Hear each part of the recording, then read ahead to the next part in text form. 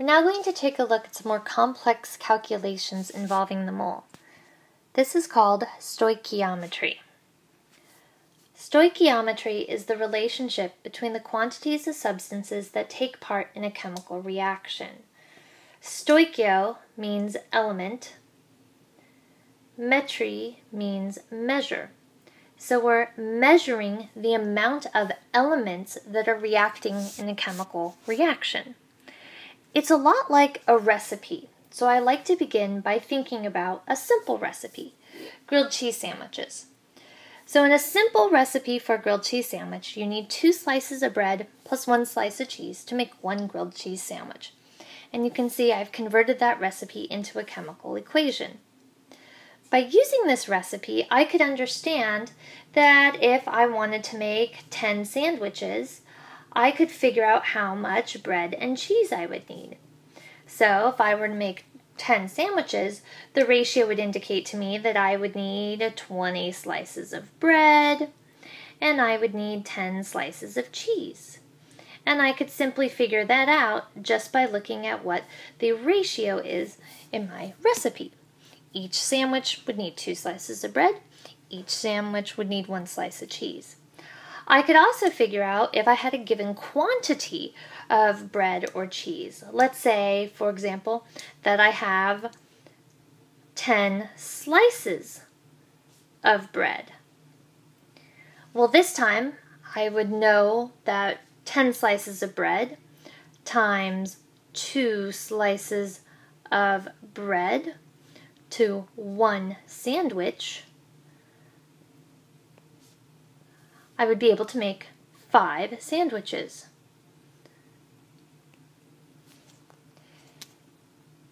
And so I'm using the ratio that I see in my chemical equation to start setting up conversion factors. Now you're looking at this saying this is really easy, I could do it in my head. So let's look at a more complex recipe. Imagine we have a recipe with, where we like a really cheesy sandwich. So we have two slices of bread plus three slices of cheese in this grilled cheese sandwich. And in this situation, we're curious to know if we have 18 slices of cheese available to us. So I have 18 slices of cheese. How much bread would I need? How many sandwiches could I make?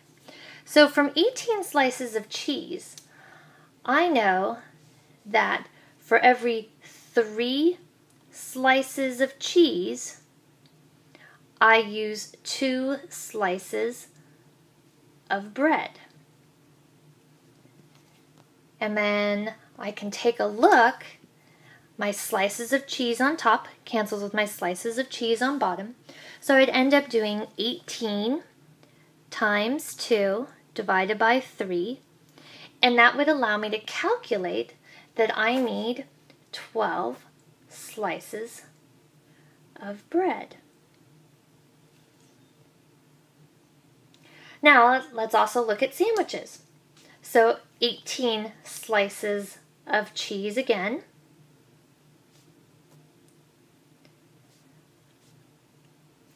For three slices of cheese, I can make one sandwich. slices of cheese on top, cancel slices of cheese on the bottom. Multiplying 18 times 1 divided by 3, which is how the math would work out, allows me to calculate that this time I can make 6 sandwiches. So I'm using the ratio in the chemical equation or the recipe to set up conversion factors. And that's what we're going to do. Okay? Now, when we are looking at chemical equations, they seem a lot more complicated than a recipe like a grilled cheese sandwich. So here we have a reaction between iron and sulfur to make iron 3 sulfide. So I chose this reaction because it has the exact same ratio as our last example for a complex cheesy cheese sandwich. The balanced chemical equation tells me the ratio that these substances are going to react. So I need two iron to combine with three sulfurs to make one iron 3 sulfide compound. We could look at this as individual atoms making individual compounds, or we could look at this as a mole of substance, which is what we're going to do.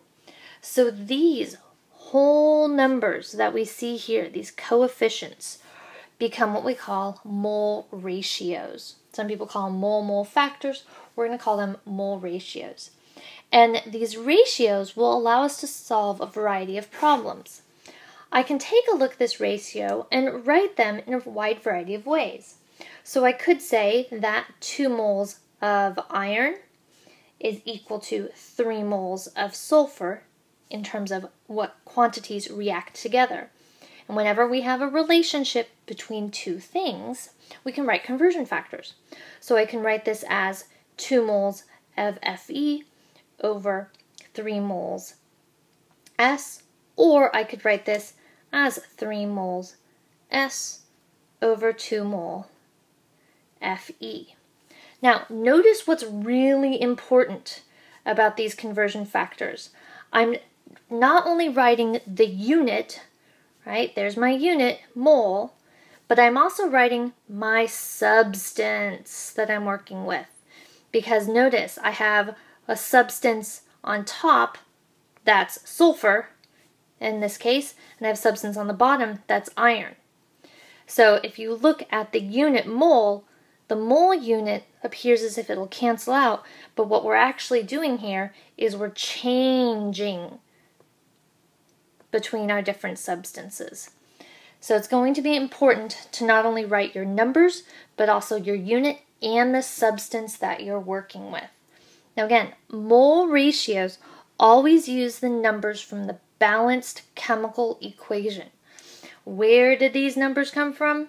These 3 and 2 or 2 and 3 numbers, they came from right here, the balanced chemical equation.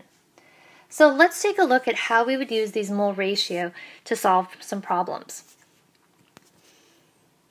Remember, all we need to know is the balanced equation and one piece of information. So you're going to see me organize my problems by using the equation. So in this example, we're going to imagine that we have 0.4 moles of sulfur. Okay, that's the quantity that we know. And from that 0.4 moles of sulfur, we're going to be able to figure out how much iron we need and how much iron 3 sulfide can be made. So for our first example, we're going to take 0.4 moles of sulfur. And moles of sulfur is what I'm getting rid of, so remember that goes on the bottom. So I look at the balanced chemical equation. All right, once again, I look at the balanced equation. So if your equation is not balanced, this will give you the wrong value. Okay, so that's what I'm doing right here. The balanced equation tells me for 3 moles of sulfur, I react it with 2 moles of iron. Okay. Moles of sulfur on top cancels moles of sulfur on the bottom. I'm left with moles of iron by doing the math of 0.4 times 2 divided by 3.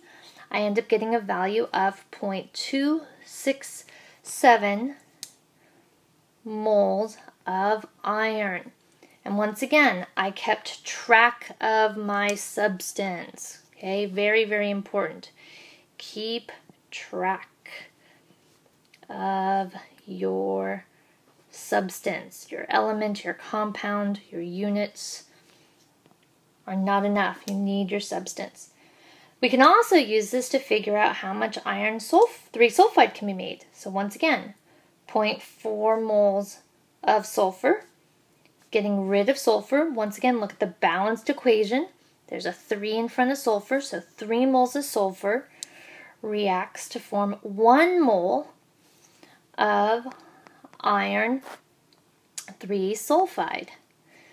So I have a different mole ratio here because I'm comparing different substances. And these numbers are not coming from any fancy place other than the chemical equation.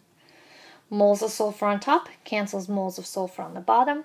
Solving this problem, I would then get 0.133 moles of iron 3 sulfide produced. Different substance, which is why I had a different ratio. So, mole ratios from a balanced chemical equation will allow us to convert between two different substances. And that's where we're going to start. Good luck.